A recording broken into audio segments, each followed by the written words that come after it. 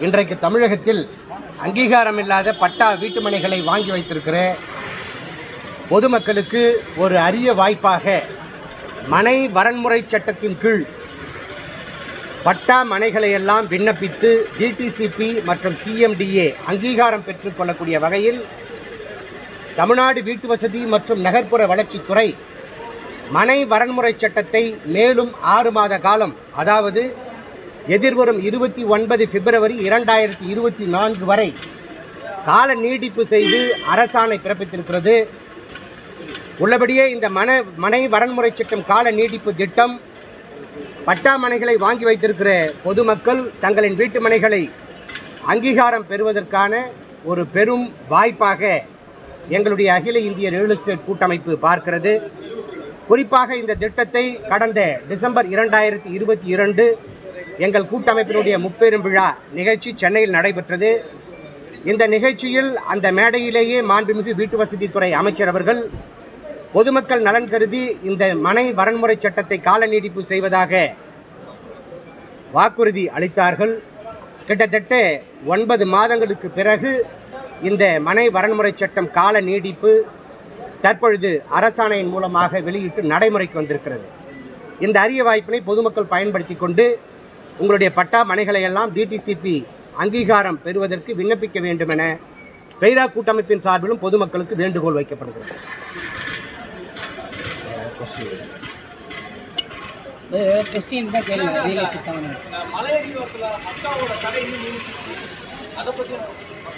இந்த மனை வரன்முறை சட்டம் கால நீட்டிப்பில் கூட பார்த்தீங்கன்னு சொன்னால் ஏற்கனவே இந்த மலைகள் பாதுகாப்பு அதிகார குழுமம் மாநிலம் முழுவதும் இருபத்தைந்து மாவட்டங்களில் இருக்கிறது. அந்த இருபத்தைந்து மாவட்டங்களுக்கு உட்பட்ட அந்த ஆக்கா ஹில்ஸ் ஏரியா கன்சர்வேஷன் அத்தாரிட்டின்னு சொல்லுவோம். அந்த பகுதிகளில் ஐநூறு மீட்டருக்கு வெளியில் இருக்கக்கூடிய வீட்டுமனை பிரிவுகளுக்கெல்லாம் அரசாணை எண் அறுபத்தி ஆறு இரண்டாயிரத்தி இருபதாம் ஆண்டு ஒரு அரசாணை போடப்பட்டது. அதை இந்த கால நீட்டிப்பு அரசாணை நூற்றி பதினெட்டில் விடுபட்டிருக்கிறது. அதனையும் நாங்கள் வீட்டு வசதி துறைக்கு சொல்லியிருக்கிறோம். அந்த மலைகள் பாதுகாப்பு அதிகார குழுமத்தினுடைய எல்லையிலிருந்து ஐநூறு மீட்டருக்கு வெளியிலே போடப்பட்டிருக்கிற வீட்டுமனை பிரிவுகளுக்கு மாத்திரம் இருபது பத்து இரண்டாயிரத்தி பதினாறுக்கு முன்பாக ஏற்படுத்திருக்கு ஏற்படுத்தப்பட்டிருக்கிற வீட்டுமனை பிரிவுகளுக்கு மட்டும் மனை வரன்முறை சட்டத்தின் கீழே அங்கீகாரம் பெற்றுக்கொள்ளக்கூடிய வகையில் வழிவகை செய்ய வேண்டுமென என வீட்டு வசதித்துறைக்கு வேண்டுகோள் வைத்திருக்கிறோம். விரைவில் அதுவும் நடைமுறைக்கு வரும். ஆனால் தற்பொழுது மாநிலம் முழுவதும் பல பகுதிகளிலே இந்த மலைகள் பாதுகாப்பு அதிகார குழுமம் இருபத்தைந்து மாவட்டங்களுக்கு மேல் இருக்கின்ற காரணத்தினாலும் அதே போன்று பெருமளவிலே சுற்றுலா தலங்கள் அந்த ஊட்டி கொடைக்கானல் குன்னூர் இப்படிப்பட்ட ஏற்காடு ஏலகிரி போன்ற சுற்றுலா தலங்களில் இருக்கக்கூடிய நிலங்களும் அதே போன்று ஏர்போர்ட் அத்தாரிட்டி ஆஃப் இந்தியா அதன் அருகிலே ஐநூறு மீட்டருக்குள் அமைந்திருக்கிற இடங்களுக்கும் ஆர்காலஜிக்கல் சர்வே ஆஃப் இந்தியா என்று சொல்லக்கூடிய தொல்லியல் துறையிலிருந்து ஒரு ஐநூறு மீட்டருக்குள் அமைந்திருக்கிற இடங்களுக்கும் கடலோர பாதுகாப்பு மண்டலம் சிஆர்இசட் என்று சொல்லுவோம் கோஸ்டல் ரெகுலேட்டரி ஜோன் அதிலிருந்து ஒரு ஐநூறு மீட்டருக்கு அருகில் இருக்கக்கூடிய நிலங்களும் அதே போன்று கல்பாக்கம் அணுமின் நிலையம் கூடங்குளம் அனல் மின் நிலையம் போன்ற பகுதிகளிலிருந்து கிட்டத்தட்ட ஐந்து சதுர கிலோமீட்டர் பரப்பளவிற்கு அமைந்திருக்கிற இடங்களும் animal husbandry bird sanctuary board பறவைகள் சரணாலயம் மற்றும் விலங்குகள் சரணாலயம் அதே போன்று யானைகளினுடைய வழித்தடங்கள் செங்கல் சூளை அருகில் எட்நூறு மீட்டருக்கு அருகில் இருக்கக்கூடிய நிலங்கள் ரயில்வே ட்ராக்குக்கு அருகில் இருக்கக்கூடிய நிலங்கள் சுடுகாடுக்கு அருகில் இருக்கக்கூடிய நிலங்கள் குளங்கள் குட்டைகள் ஏரிகள் ஆறுகள் ஊரணி தாங்கள் நீர்நிலைகள் போன்ற பகுதிகளின் அருகில் இருக்கக்கூடிய ஒரு அரை கிலோமீட்டருக்கு சுற்றளவிற்கு இருக்கக்கூடிய இடங்கள் மோனுமெண்ட் நினைவு சின்னங்கள் என்று சொல்லுவோம். அந்த நினைவு சின்னங்களுக்கு அருகில் இருக்கக்கூடிய அந்த இடங்களை எல்லாம் தற்பொழுது வீட்டு வசதி மற்றும் நகர்ப்புற வளர்ச்சித்துறையின் மூலமாக ரெசிடென்ஷியல் டெவலப்மெண்ட்டு செய்ய முடியாதபடி தடை இருக்கிறது. ஆனால் பதிவுத்துறை அந்த பகுதிகளிலே வாங்கி வைத்திருக்கிற இடங்களை எல்லாம் பதிவு செய்யலாமா என்று கேட்டால் சொத்து பரிமாற்று சட்டத்தின் அடிப்படையிலும் பதிவு சட்டம் ஆயிரத்தி தொள்ளாயிரத்தி எட்டு பிரிவு முப்பத்தி ஐந்து மற்றும் இருபத்தி ரெண்டு ஏவின் அடிப்படையிலும் அதனை பதிவு செய்வதற்கு வழிவகை இருந்தும் தற்பொழுது பத்திரப்பதிவுத்துறை பதிவு செய்வதற்கு மறுக்கிறது. இந்த பகுதியிலே இடங்களை வாங்கி வைத்திருக்கிற பொதுமக்கள் எல்லாம் தங்களுடைய இடங்களை அவசர தேவைக்கு விற்பனை செய்து அவர்களுடைய பிரச்சனைகளை தீர்த்து கொள்ள இயலாத சூழ்நிலைக்கு தற்பொழுது தள்ளப்பட்டிருக்கிறார்கள். இவைகளை தான் வெகுமக்கள் தந்தை பெரியார் சொன்ன கோட்டின் அடிப்படையிலே எல்லா சட்டங்களும் மக்களுக்கு உதவுவதற்கு உதவு உதவுவதற்கு தானே தவிர அது என்னையா மக்களுக்கு உதவாத மண்ணாங்கட்டி சட்டம் என்று சொல்லி வெகு மக்கள் நான் குறிப்பிட்ட மேலே குறிப்பிட்ட இந்த பகுதிகளிலே அமைந்திருக்கிற அந்த இட அந்த பகுதிகளில் வைத்திருக்கிற வட இடங்களை வாங்கி வைத்திருக்கிற பொதுமக்கள் தங்களுடைய சொத்துக்களை விற்பனை செய்ய முடியாதபடி மனம் குமுறுகின்றனர். இதனை மாண்புமிகு தமிழக முதல்வர் அவர்கள் தங்களுடைய கவனத்திலே கொண்டு சட்டம் வழிவகுத்திருக்கிறது. ஆனால் பதிவுத்துறை பதிவு செய்ய மறுக்கிறது. இதற்கு சரியான ஒரு வழிகாட்டுதலை பதிவுத்துறையின் மூலமாக சம்பந்தப்பட்ட சார் பதிவாளருக்கு ஒரு ஸ்டாண்டர்ட் சர்க்குலராக நிலையான ஒரு சுற்றறிக்கையாக ஏற்படுத்தி மாநிலம் முழுவதும் இப்படி தடை செய்யப்பட்ட பகுதிகளில் இருக்கக்கூடிய நிலங்களை வாங்குவதற்கும் விற்பதற்கும் பரிமாற்றம் செய்வதற்கும் அரசு வழிவகை செய்ய வேண்டும் என பொதுமக்களின் சார்பில் நான் வேண்டுகோள் வைக்கின்றேன். அது மட்டுமல்ல இன்றைக்கு பத்திரப்பதிவுத்துறையினுடைய கட்டணங்கள் எல்லாம் பன்மடங்கு உயர்ந்திருப்பதாக பொதுமக்கள் மனம் குமுறுகின்றார்கள். குறிப்பாக ரியல் எஸ்டேட் மற்றும் கட்டுமானத்துறையினுடைய அடிப்படை ஆதாரமாக விளங்கக்கூடிய பொது அதிகார ஆவணத்திற்கு சந்தை மதிப்பிற்கு நிகராக ஒரு சதவிகிதம் கட்டணம் என நிர்ணயித்து கடந்த ஜூலை மாதம் ஏழாம் தேதி ஒரு அறிவிப்பை வெளியிட்டது. உடனடியாக மூன்று தினங்களிலே பத்தாம் தேதி முதல் அந்த கட்டணத்தினுடைய உயர்வு எல்லாம் நடைமுறைக்கு வந்துவிட்டது. அது மட்டுமல்ல கட்டுமான ஒப்பந்தத்திற்கு அதாவது கட்டுநர்கள் பில்டர்ஸ் வந்து வீடுகளை கட்டும் பொழுது அந்த கட்டுமான ஒப்பந்தத்திற்கு முத்திரை தீர்வை ஸ்டாம்ப் டியூட்டி ஒரு சதவிகிதமும் பதிவு கட்டணம் ரெஜிஸ்ட்ரேஷன் ஃபீஸ் ஒரு சதவீதமாக கடந்த ஜூலை மாதம் பத்தாம் தேதிக்கு முன்பாக நடைமுறையில் இருந்தது. இதனை சமீபத்தில் ஜூலை பத்தாம் தேதியிலிருந்து உயர்த்தி நடைமுறைக்கு வந்த கட்டணத்தின் அடிப்படையில் ஒரு சதவீதம் முத்திரை தீர்வையும் மூன்று சதவிகிதம் பதிவு கட்டணமும் என நான்கு சதவீதமாக உயர்த்தியிருக்கிறது. ஆக இரண்டு சதவீதத்திலிருந்து இரண்டு சதவிகிதம் கூடுதலாக கட்டணம் இருக்கிறது. அப்போ ஒரு கோடி ரூபாய் மதிப்புள்ள நிலத்தை வாங்குகின்ற பொதுமக்களுக்கு அதிலே வீடுகளை கட்டியிருப்பார்களானால் கிட்டத்தட்ட மூன்று சதவிகிதம் மூன்று லட்சம் ரூபாய் அந்த வாங்குகின்ற பொதுமக்களினுடைய தலையில் சுமை கூடும். அது மட்டுமல்ல மாநிலம் முழுவதும் சமீபத்தில் ஒரு நிலையான வழிகாட்டுதல் அதாவது வீட்டுமனை பிரிவிற்கு குறைந்தபட்சம் சென்னை மற்றும் கோவை பெருநகர பெருநகரங்களிலே வீட்டுமனை பிரிவுகளுக்கு நிலத்தினுடைய அரசு வழிகாட்டி மதிப்பு அதாவது கவர்மெண்ட் கைட்லைன் வேல்யூ குறைந்தபட்சம் ஆயிரம் ரூபாய் கார்பரேஷன் லிமிட்டில் இன்றைக்கு கோவையில் வந்து பார்த்தீங்கன்னு சொன்னால் புதிதாக இரண்டாயிரத்தி பதினொன்றாம் ஆண்டு இணைக்கப்பட்ட அந்த புதிய கார்பரேஷன் பகுதிகளெல்லாம் இன்றைக்கு மூன்று லட்சம் ரூபாய் இரண்டரை லட்சம் ரூபாய்க்கு கூட சென்ட் விற்கிறது. அப்படின்னா கிட்டத்தட்ட ஒரு ஐநூறு ரூபாய் தான் கைட்லைன் வேல்யூ ஆனால் இவர்கள் குறைந்தபட்சம் ஆயிரம் ரூபாய்க்கு பதிவு செய்ய வேண்டும் என்று சொல்லி முரணாக அந்த வழிகாட்டி மதிப்பை உயர்த்தியிருக்கிறார்கள் ஆனால் விளைநிலங்களை பொறுத்த வரைக்கும் வெறும் ஐயாயிரம் ரூபாய் குறைந்தபட்சம் நிர்ணயம் செய்யணும்னு சொல்லியிருக்காங்க. அது எந்த வகையிலும் பாதிப்பை ஏற்படுத்தாது. ஏன்னா விளைநிலங்கள் இங்கே இருபத்தைந்து முப்பது லட்சம் ரூபாய்க்கு குறைவாக எங்கும் பெருநகரங்களை சுற்றி இங்கே இல்லை. அது ஓரளவுக்கு ஏற்புடையதாக இருக்கிறது.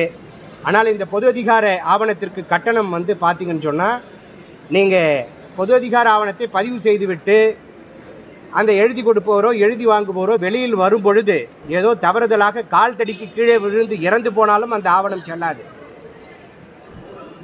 பத்து மணி முதல் பதினோரு மணி வரை பதிவு செய்யக்கூடிய அந்த முதல் ஸ்லாட்டில் ஒன்றாம் நம்பர் டோக்கனாக அவர் பொது அதிகார ஆவணத்தை எழுதி கொடுத்துவிட்டு இரண்டாம் நம்பர் ஆவணமாக கேன்சலேஷன் ரத்து செய்ய முடியுமான்னு பார்த்தீங்கன்னா ரத்து செய்ய முடியும். ஒருவர் வெளிநாட்டிற்கு செல்வது செல்லும் பொழுது அந்த சொத்தை பொது அதிகார ஆவணம் எழுதி கொடுத்துவிட்டு பாதுகாப்பதற்காக அவர் வெளிநாடு சென்று அவருடைய பணியை முடித்துவிட்டு மீண்டும் மாநிலத்திற்கு தமிழகம் வரும் பொழுது அந்த ர- ஆவணத்தை ரத்து செய்யலாம். இப்படி ரத்து செய்யக்கூடிய ஒரு ஆவணம் செல்லத்தக்கதல்ல ஒரு ஆவணம் எப்பொழுதும் எழுதி கொடுப்பவர் மாத்திரமே தன்னிச்சையாக தாமே ரத்து செய்யக்கூடிய வகையில் இருக்கக்கூடிய ஒரு ஆவணம். வாங்குபவரோ விற்பவரோ இறந்து போனால் அது செல்லத்தக்கதல்ல என்கிற அடிப்படையில் இருக்கக்கூடிய ஒரு ஆவணத்திற்கு ஒரு சதவிகிதம் கட்டணம் என்பது ஒரு பெரும் பாதிப்பை இந்த ரியல் எஸ்டேட் துறையிலே முடக்கத்தை ஏற்படுத்தியிருக்கிறது. இது சம்பந்தமாக கடந்த ஜூலை மாதம் இருபத்தி ஏழாம் தேதி ஒரு கருத்து கேட்பு கூட்டம் மாநில அளவில் இருக்கின்ற ரியல் எஸ்டேட் சங்கங்களினுடைய பிரதிநிதிகளை அழைத்து மாண்புமிகு பதிவுத்துறை அமைச்சர் செயலர் தலைவர் உள்ளிட்ட பதிவுத்துறை ஒரு கருத்து கேட்டது. ஆனால் அந்த கருத்து கேட்பு என்பது வெறும் பெயர் அளவிற்கு விளம் செய்தி விளம்பரத்திற்காக இருப்பதாக பெருமளவிலே கலந்து கொண்ட சங்கத்தினுடைய பிரதிநிதிகள் மனம் குமுறுகிறார்கள். ஏழாம் தேதி அறிவித்துவிட்டு பத்தாம் தேதி நடைமுறைப்படுத்தப்பட்ட கட்டணம் மூன்று நாட்களிலே அதிவேகமாக நடைமுறைப்படுத்தப்பட்ட அந்த கட்டணத்தை திரும்ப பெறுவதாக கடந்த ஜூலை இருபத்தி ஏழாம் தேதி அறிவித்து கிட்டத்தட்ட நாற்பத் நாற்பத்தி ரெண்டு நாட்களை கடந்தும் இதுவரை அதற்கான முயற்சியை எடுக்கவில்லை என அந்த கலந்தாய்வு கூட்டத்திலே கலந்து கொண்ட பொதுமக்களும் சங்கத்தினுடைய பிரதிநிதிகளும் மனம் குமுறுகிறார்கள்.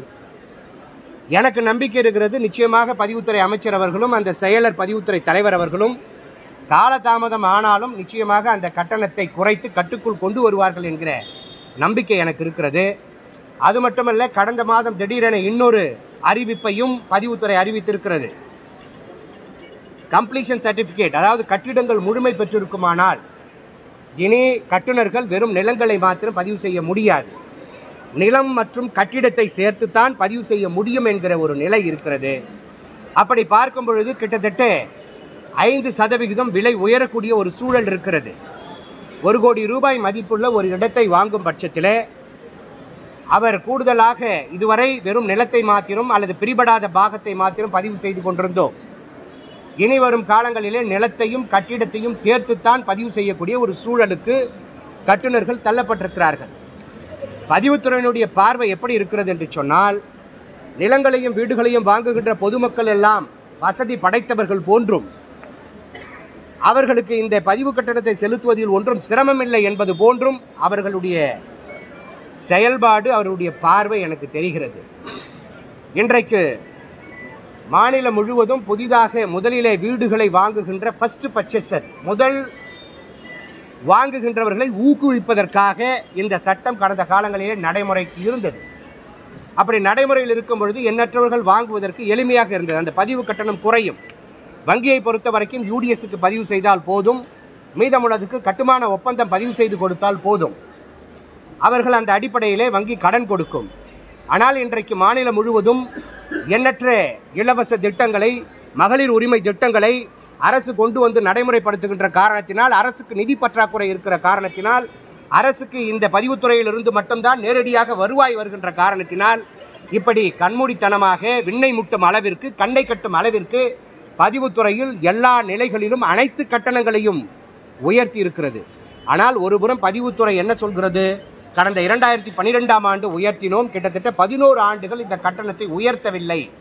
இந்தியாவிலே பல மாநிலங்களிலே இந்த கட்டணங்கள் எல்லாம் கடந்த பதினோரு ஆண்டுகளிலே பத்து முறைக்கு மேல் உயர்த்தி இருக்கிறது ஆனால் தமிழகத்தில் பதினோரு ஆண்டுகளுக்கு பிறகு இப்பொழுதுதான் உயர்த்தி இருக்கிறோம் என்கிற ஒரு கருத்தை பதிவு செய்கிறது.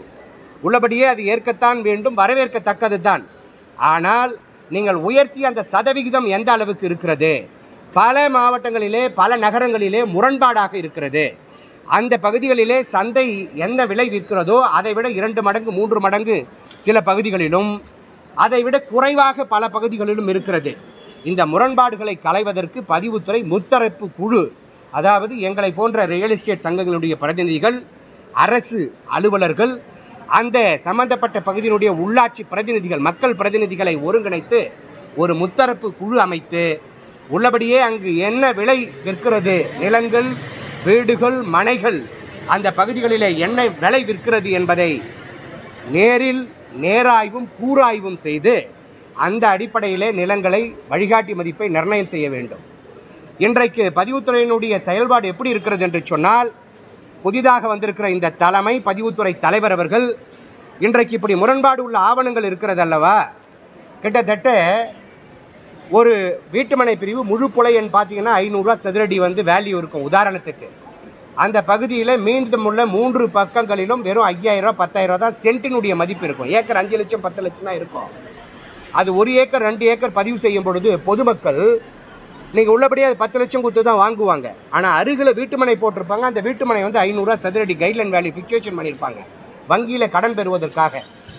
நீங்கள் நிலத்தை நிலமாக பதிவு செய்யாமல் பக்கத்தில் இருக்கிற வீட்டுமனையின் அடிப்படையில் ஒரு ஏக்கர் ரெண்டு ஏக்கர் பதிவு செஞ்சாலும் அதனுடைய வேல்யூவையும் நீங்கள் ரெண்டு கோடி மூணு கோடின்னு ஆக்கிடுறாங்க. ஆனால் சந்தையில் உண்மையிலேயே அது பத்து லட்சம் தான் விற்குது இதை வந்து பார்த்தீங்கன்னு சொன்னால் குறைவு முத்திரை தீர்வை சட்டப்பிரிவு நாற்பத்தி ஏழு ஏ ஒன் அப்படின்னு சொல்லி சட்டத்தில் வழிவகை இருக்கிறது. இந்த சட்டத்தின் அடிப்படையில் நீங்கள் டெபிசிட் ஸ்டாம்ப் டியூட்டி குறைவு முத்திரை தீர்வை அடிப்படையில் ஃபார்ட்டி செவன் கிளாஸ் ஏ ஒன்னில் பதிவு செய்வதற்கு ஆவணத்தை வந்து சார்பதிவாளர் அலுவலகத்தில் தாக்கல் செஞ்சால் பதிவு செய்ய மறுக்கிறார்கள். அருகில் இருக்கிற நிலத்தில் குறைந்தபட்சம் ஐம்பது சதவிகித மதிப்பு நீங்கள் வந்து போட்டு தான் பதிவு செய்யணும். நீங்கள் அதை சம்மந்தப்பட்ட டிஐஜி அதாவது மண்டல துணைத் தலைவர்கிட்ட ஒப்புதல் பெற்று தான் பதிவு செய்யணும் அப்படின்னு சொல்லி பொதுமக்களை பிச்சை எடுக்க வைக்கிறது இந்த பதிவுத்துறை. பல பொதுமக்கள் தினந்தோறும் இப்படி முரணாக ஏன்னா இவங்க வழிகாட்டி மதிப்பை கண்மூடித்தனமாக உயர்த்தி விட்டார்கள். இப்படி பல வழிகாட்டி மதிப்புகள் பல நிலங்களுக்கு முரண்பாடாக இருக்கிறது. பொருந்தக்கூடிய வகையில் அல்ல ஏற்றுக்கொள்ளக்கூடிய வகையில் அல்ல. பத்து மடங்கு விலை அதிகமாக இருக்கிறது. சந்தை மதிப்பே பத்து லட்சம்னா வழிகாட்டி மதிப்பு ஒரு கோடி ரூபாய் இருக்கிறது. ஆனால் அதில் நீங்கள் பாதி பர்சன்ட் ஐம்பது லட்சம் தான் போட்டு நீங்கள் பதிவு பண்ணணும். அதுக்கும் போய் நீங்கள் டிஐஜி கிட்ட அனுமதி வாங்கணும்னு சொல்கிறாங்க இது குறித்து தற்போதைய பதிவுத்துறை தலைவர் திரு தினேஷ் பொன்ராஜ் ஆலிவர் அவர்களிடத்தில் பத்துக்கும் மேற்பட்ட தரவை நேரிலும் நூற்றுக்கும் மேற்பட்ட தரவை தொலைபேசியிலும் நான் பேசிட்டேன். ஒரு மாற்றுத்திறனாளி குழந்தையை வைத்துக்கொண்டு ஒரு பெண் கண்ணீர் விட்டு கதறி அழுது அவருடைய சொத்தை பதிவே செய்ய முடியாத நிலைமைக்கு தற்கொலைக்கு கூட முயற்சி செய்திருக்கிறார். இந்த அளவுக்கு இந்த பதிவுத்துறையினுடைய தலைமை இந்த அரசு அலுவலர்கள் மிக கடுமையாக நடத்துகிறார்கள் பொதுமக்களிடம் நடந்து கொள்கிறார்கள். துளியும் பதிவு அலுவலகத்திற்கு செல்கின்ற பொதுமக்களை மதிப்பதில்லை. அங்கு போதிய குடிநீர் வசதியோ கழிவுநீர் வசதியோ அல்லது அடிப்படை கட்டமைப்புகளோ மாற்றுத்திறனாளிகள் வயது முதிர்ந்தவர்கள் சென்றால் அவர்களுக்கு அமர்வதற்கு இருக்கைகளோ எந்த விதமான லிஃப்ட் வசதி மின்தூக்கி வசதி கூட பல அலுவலகங்களில் இல்லை. காற்று வசதி இல்லை மின்சார வசதி இல்லை பவர் பேக்கப் இல்லை. இப்படி பல குறைபாடுகள் இருக்கிறது. எண்ணற்ற பிரச்சனைகள் தொடர்கிறது. இவை அனைத்தையும் பத்திரிகை மற்றும் ஊடகத்துறை நண்பர்களாகி நீங்கள் அரசினுடைய கவனத்திற்கும் முதல்வர் அவர்களுடைய கவனத்திற்கும் கொண்டு சென்று இன்றைக்கு தமிழ்நாடு பத்திரப்பதிவுத்துறை வந்து வரலாற்று சிறப்புமிக்க ஒரு பதிவுத்துறை. இந்தியாவிலேயே எந்த மாநிலத்திலும் இல்லாத வகை வகையில் ஆள்மாறாட்டம் செய்து போலி ஆவணம் பதிவு செய்தால் அந்த ஆவணத்தை ரத்து செய்வதற்கு பதிவுத்துறை சட்டப்பிரிவு எழுபத்தி ஏழு ஏன்னு சொல்லி ஒரு சட்டத்தை கொண்டு வந்தாங்க. அதில் சில மிஸ்டேக்ஸ் எரர் டிராஃப்டிங் எரர்னால் இரண்டு மாதத்துக்கு முன்பாக அந்த சட்டத்தை நீதிமன்றம் மரியாதைக்குரிய ஜஸ்டிஸ் ஆனந்த் வெங்கடேஷ் அவர்களுடைய பெஞ்ச் தடை விதித்திருக்கிறது. இப்போ ஆள்மாறாட்டம் செய்தும் போலி ஆவணம் தயாரித்தும் விற்பனை செய்தவர்களுடைய நிலை கேள்விக்குறியாக இருக்கிறது. ஸோ பதிவுத்துறை அதனை சேலஞ்ச் பண்ணி அதை வந்து மீண்டும் அந்த சட்டத்தை நடைமுறைப்படுத்துவதற்கான முயற்சியை மேற்கொண்டாலும் தற்காலிகமாக பதிவுத்துறை சட்டப்பிரிவு அறுபத்தி எட்டு இரண்டுன்னு சொல்லி இருக்குது. அதில் அட்லீஸ்ட் இன்புட் இண்டெக்ஸ் பண்ணுறதுக்காவது வழிவகை செய்யணும் அப்படிங்கிறது தான் பொதுமக்களின் சார்பில் நான் பதிவுத்துறைக்கு வைக்கின்ற கோரிக்கை.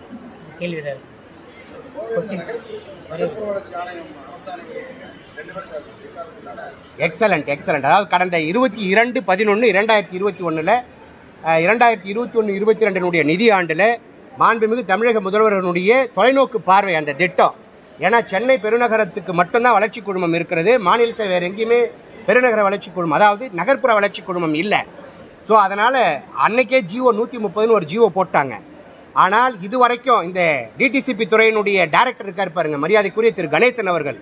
அவர் ரெண்டாயிரம் கோடி ரூபாய் முதலீடு போட்டு வியாபாரம் பண்ணுறது மாதிரியும் அவருக்கு உரிய வருமானம் வராது தடுத்து நிறுத்தப்படும்ன்ற அடிப்படையில் கோவை பெருநகர் வளர்ச்சி புற நகர்ப்புற வளர்ச்சி குழுமம் திருப்பூர் நகர்ப்புற வளர்ச்சி குழுமம் சேலம் நகர்ப்புற வளர்ச்சி குழுமம் மதுரை நகர்ப்புற வளர்ச்சி குழுமம் திருச்சி நகர்ப்புற வளர்ச்சி குழுமம் மற்றும் ஒசூர் நகர்ப்புற வளர்ச்சி குழுமம்.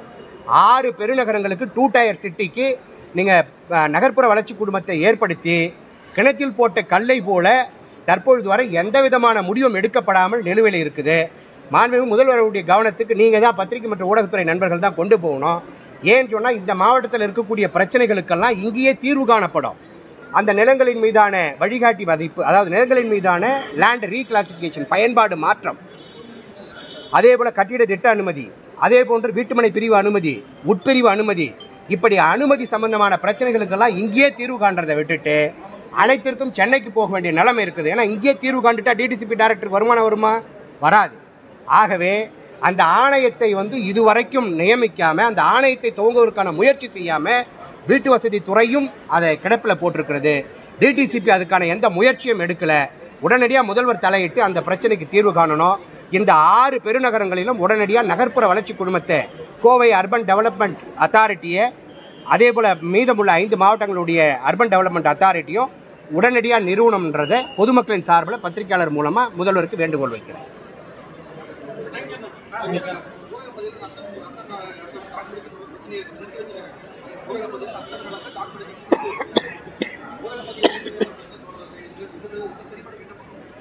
அப்படி மாநிலம் முழுவதும் இருக்கிற நத்தம் அதாவது கிராமங்கள் பூர்வீக கிராமங்கள்லாம் பார்த்தீங்கன்னா ந கிராம நத்தம்னு இருக்கும். அது எல்லாமே வந்து நீங்கள் குறுக்க சாலை போட்டு வீட்டுமனையை ஏற்படுத்தி தான் விற்பனை செய்ய முடியாது. ஏற்கனவே பதிவாகி இருந்தாலோ நத்தம் பட்டா இருந்தாலோ அதை பதிவு செய்வதற்கு எந்த விதமான தடையும் இல்லைன்னு சொல்லிட்டு ஏற்கனவே வாய்மொழியாக உத்தரவு போட்டுட்டாங்க. அதே போல் மனை வரன்முறை சட்டத்திலும் மிக தெளிவாக நத்தம் கிராம மனைகளை பதிவு செய்யலாம் அப்படின்னு சொல்லிட்டாங்க. இருந்தாலும் சில சார் பதிவாளர்கள் பதிவு செய்ய மறுப்பதாக தொடர்ந்து எங்களுடைய கூட்டமைப்புக்கு புகார் வந்து இருக்கிறது. நாங்கள் பதிவுத்துறையினுடைய அமைச்சரும் ப்ளஸ் செக்ர செக்ரட்டரி செயலாளர் தலைவருடைய கவனத்துக்கு கொண்டு சென்றிருக்கிறோம். சில இடங்களில் எங்களுடைய கவனத்துக்கு வர பிரச்சனைகளை அவங்களுடைய கவனத்துக்கு கொண்டு செல்லும்போது அது உடனடியாக பதிவு செய்து கொடுக்குறாங்க. இருந்தாலும் எல்லாருக்கும் என ஒரு வலிமை மிக்கவர்கள் அங்கே சென்னையில் இருக்கிறவங்க உடனடியாக அரசுடைய கவனத்துக்கு கொண்டு செல்லுகின்றவர்களுக்கு மட்டும்தான் தொடர்பு இருக்கிறவங்களுக்கு மட்டும்தான் இந்த பிரச்சனை தீர்வு ஏற்படுது. ஒரு சாமானியன் கடைகோடியில் இருக்கக்கூடிய ஒரு மக்களுக்கும் விளிம்புநிலை மக்களுக்கும் இப்படி ம- அநீதி இழக்கக்கூடாது. அவர்களுடைய கிராமத்து மனைகளையும் பதிவு செய்யணும்னு சொல்லி நாங்கள் சொல்லியிருக்கிறோம். அதுக்கு முறையான ஒரு சுற்றறிக்கை வெளியிடுறதா அரசு சொல்லியிருக்கிறாங்க. அதே போல் நீங்கள் வீட்டு வசதி துறையில் பார்த்தீங்கன்னா லேஅவுட்டுக்கு அணுகு சாலை கட்டிடத்தினுடைய கம்ப்ளீஷன் சர்டிஃபிகேட்டு கிராமணத்த மனைகளில் எட்டு மனை வரை எட்டு யூனிட் வரைக்கும் வீடு கட்டுறதுக்கான அனுமதியெலாம் ஏற்கனவே நடைமுறைக்கு வந்திருக்கிறது. விரைவில் பல்வேறு திட்டங்கள் வர இருக்கிறது. ஸோ பதிவுத்துறையும் எண்ணற்ற வளர்ச்சி எழுச்சி திட்டங்களை கொண்டு வந்தாலும் இப்படி இன்னும் பல பிரச்சனைகள் தீர்வு காணப்படாமல் இருக்கிறது. இன்றைக்கு பதிவுத்துறை அலுவலர்கள் எல்லாம் அவர்கள் எல்லாம் வானத்தில் இருந்து தாயின் வயிற்றில் பிறந்தவர்கள் போல இல்லை. வானத்திலிருந்து குதித்தவர்கள் போல ஒவ்வொருவரும் அத்துணை ஆவணத்திற்கும் ஒரு ஒரு ஒரு ஆவணத்துக்கு டாக்குமெண்ட்டுக்கு ஐம்பதாயிரம் கொடுங்க ஒரு லட்சம் கொடுங்க அஞ்சு லட்சம் கொடுங்கன்ட்டு லஞ்சம் லாபனத்தினுடைய ஊற்றுக்கண்ணாக இந்த பதிவுத்துறையினுடைய அரசு நிர்வாகிகள் அரசு அலுவலர்கள் செயல்படுறாங்க. நீங்கள் பதிவுத்துறை தலைவரும் செயலாளரும் வந்து உண்மையிலேயே வந்து லஞ்சம் லாவணியம் வாங்காத நேர்மையான அதிகாரியாக இருந்தாலும் அதன் கீழ்நிலையில் இருக்கக்கூடிய இப்படி வாங்குகின்ற பதிவாளர்களை வந்து தடுக்காமல் நடவடிக்கை எடுக்காமல் இருப்பது அவர்களை ஊக்குவிப்பதற்கு சமமாக பல பொதுமக்கள் பார்க்கிறார்கள் அதை அவர்கள் விரைவில் நடவடிக்கை எடுக்கணுன்றதான் என்னுடைய வேண்டும் வேற ஏதாவது கோரிக்கை இருக்காது எதுவும் கொஸ்டின் இல்லைங்களா? எல்லாருக்கும் தேவை. நன்றி.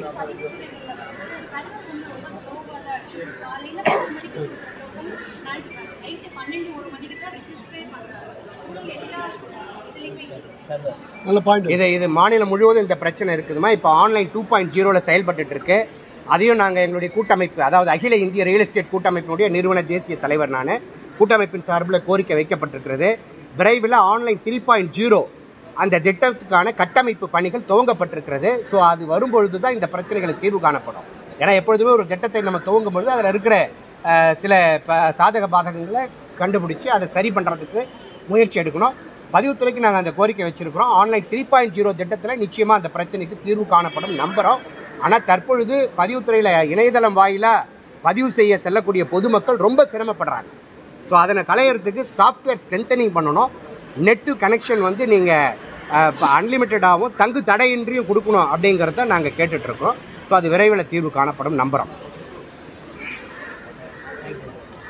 தேங்க்யூ தேங்க்யூ இன்னும் கூட ஒரு கூடுதலான செய்தி. விரைவில் இந்த ஆன்லைன் த்ரீ பாயிண்ட் ஜீரோவில் பார்த்தீங்கன்னு சொன்னால் வீட்டிலிருந்தே பதிவு செய்யக்கூடிய வகையில் கூட டாக்குமெண்ட் இப்போ போய் நம்ம ஆவணங்களை வந்து பதிவு அலுவலகத்தில் காத்துக்கிட்டு இருப்போம். ஸோ அட்வான்ஸ்டு டெக்னாலஜி அதை வந்து நீங்கள் வீட்டிலிருந்தே கேமரா மூலமாக நீங்கள் சிஸ்டம் கனெக்ட் பண்ணிவிட்டு வீட்டிலிருந்தே பதிவு செய்யக்கூடிய வகையில் கூட அந்த திட்டங்களை வந்து நடைமுறைப்படுத்துவதற்கான ஒரு முயற்சியும் நடைபெற்று கொண்டது தேங்க்யூ தேங்க்யூ ஆல் நன்றி.